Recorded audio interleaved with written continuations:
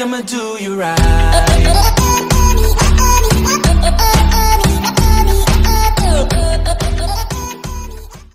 ਲੱਗ ਗਿਆ ਕੰਮ ਨੂੰ। ਅੱਛਾ। ਹਾਂਜੀ ਉਹ ਵਜ੍ਹਾ ਹੈ। ਓਏ।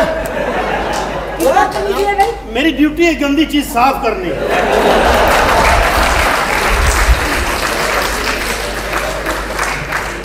ਤੁਸੀਂ ਜਿਹੜੇ ਸਮਝਦਾਰ ਮੇਰੇ ਸਵਾਲ ਦਾ ਜਵਾਬ ਤੇ ਦਿਓ। ਹਾਂਜੀ। ਵੱਡੇ ਆਪਰੇਸ਼ਨ ਦੀ ਜ਼ਿਆਦਾ ਤਕਲੀਫ ਤਾਂ ਨਹੀਂ ਹੁੰਦੀ ਕਿਹੜੇ ਜਿੱਤੇ ਬੱਚੇ ਦੇ ਸਵਾਲ ਪਿਓ ਕੱਲ ਦੀ ਵਾਰ ਦਿੱਤੀ ਉਹ ਸਾਨੂੰ ਓ ਕੁਛ ਨਾ ਪੁੱਛੋ ਪੁੱਤਰੋ ਕੁਛ ਨਾ ਪੁੱਛੋ। ਚਲ ਰਹਿਣ ਦੇ ਆਓ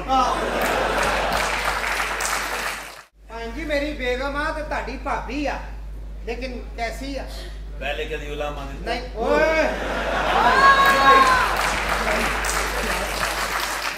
ਜੀ ਚੋਰੀ ਸਾਹਿਬ। ਹਾਂ ਜੀ ਤੁਸੀਂ ਆਪਣਾ ਤਾਰਫ ਨਹੀਂ ਕਰਾਇਆ। ਜੀ ਮੈਂ ਇਹਨਾਂ ਦਾ ਮੈਨੇਜਰ ਹਾਂ ਜਨਾਬ। ਇਸ ਕੰਮ ਦਾ ਮੈਨੇਜਰ ਹੁੰਦਾ? ਸਰ ਇਸ ਦਾ ਕੀ ਹੁੰਦਾ? ਇਸ ਕੰਮ ਦੇ ਤਾਂ ਦਲਾਲ ਹੁੰਦੇ ਨੇ। ਬਾਜ਼ੂ ਪਕੜਿਆ ਸੀ। ਉਸ ਤੋਂ ਬਾਅਦ ਲਾਵਾ। ਲਾਈਟ ਜਾਏ ਓਏ ਮੁੰਡਿਆ! ਸੱਬਾ! ਹੋਰ ਕੀ ਕੀ ਕੀਤਾ ਯਾਰ ਇਹਨੇ ਇਸ ਤਰ੍ਹਾਂ ਸੇ ਓਏ ਮੁੰਡਿਆ! ਮੈਂ ਕਹ ਜਾਈ ਕੀ ਹੋਰ ਕੀ ਕੀਤਾ ਹੀ ਕਹ ਜਾਈ ਨਹੀਂ ਕੀਤਾ ਸੀ। ਓਏ ਮੁੰਡਿਆ! ਓਏ ਇਹਨੂੰ ਮੰਜੀ ਲਿਆ ਕੇ ਤੇ ਮੈਂ ਦੀ ਅਖੀਰ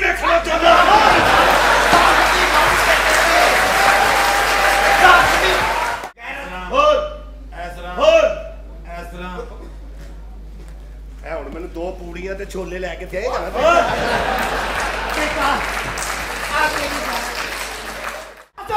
ਕੀ ਹੋਇਆ?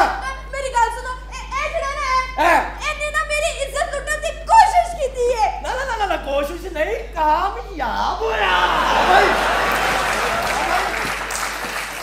ਨੱਚਣਾ ਤਾਂ ਤੁਸੀਂ ਧਿਆਨ ਰੱਖਣਾ। ਓਏ।